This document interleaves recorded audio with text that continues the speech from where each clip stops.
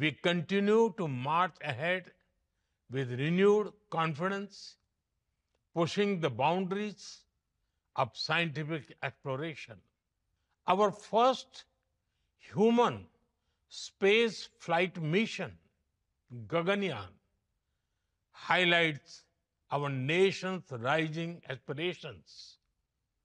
In coming weeks, an Indian astronaut will travel to space as part of a joint ISRO NASA mission to the International Space Stations.